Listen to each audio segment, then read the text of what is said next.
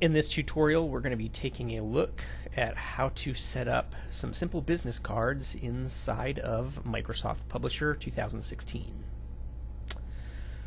Alright, so first let's take a look at what we're going to be creating. Uh, the first one we're going to set up is just to create basically a text box that's going to end up printing on uh, colored cardstock but we want to set this up so we don't have to do a lot of work we just want to be able to set up one card and have it print multiple up per page. And then the next thing that we're going to take a look at, and I might do this in two parts, I might make this in part two. Um, we're going to take a look at how to get a beautiful full bleed design where the color actually runs right to the edge of the card. That setup is quite a bit different than what you're going to do for something like this. Alright, so let's dive right in.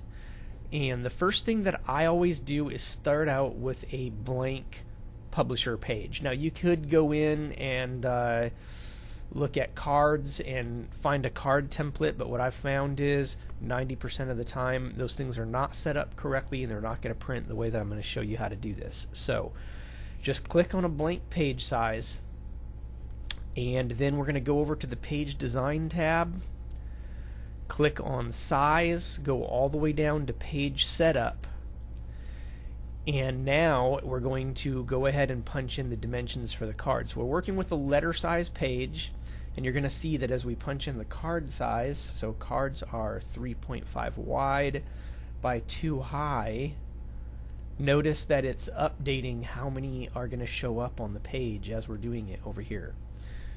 Uh, we can do 0.125 for the margins around these business cards and I'm just copying and pasting those uh, in. So as I copy it, I press Control C, and then when I paste it, Control V.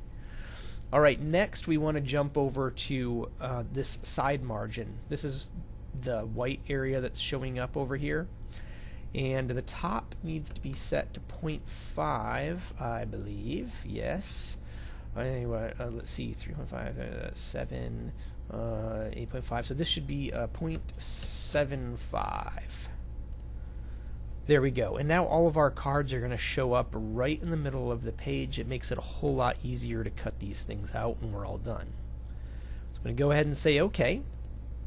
And now we want to just make sure that all of our text stays inside of this blue area because the outside of this here is what's going to get cut and if you have large stacks of these, let's say you're printing 100 cards, so there's 10 cards per page, you're printing 10 pages, and you want to cut them all out at the same time on a hydraulic cutter, like we do here in the print shop. Uh, you want to have a little bit of space here. This is, you know, an eighth of an inch. Um, because you can end up with a variance of where the card got printed on the page by up to two to three millimeters, depending on the printer. A home printer might be even more like four or five millimeters. Um, so you want to make sure that this right here is basically your print safe zone or your cut safe zone. So the next thing you're going to do is just jump over to the home tab. Once again, we're just putting together a simple card and you're going to drop in either one text box or several text boxes. And uh, right now, I think I have my boundaries turned off. Let's turn those on so you can actually see the boundaries of the box that I put together. Um, so what I'm going to do is, is I'm going to go ahead and drop my information in real quick. Alright, so as you can see, I've uh, just created uh, three different text boxes. I've got one for my name and title, one for my contact info, like my office phone number, my mobile, my email, and then one for the address. And when I go to print these out, so I'm going to hit Control P, I can see that it is now setting multiple cards up per page, even though I've only designed one. It just automatically sets them all up for me, and that's because we punched in those layout options at the very beginning. So now all I have to do is print it, cut the page directly in half, then reset my cutter to 3.5 and then cut off the white space on either of the ends over here.